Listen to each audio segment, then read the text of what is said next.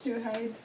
And, and, and, and your clientele, where, where do they usually come from? Are there many French or American? Uh, for, for example, for this cruise it's half and half. Well, less French, but we have also from Amer- well, Australian, mm-hmm. American, yeah.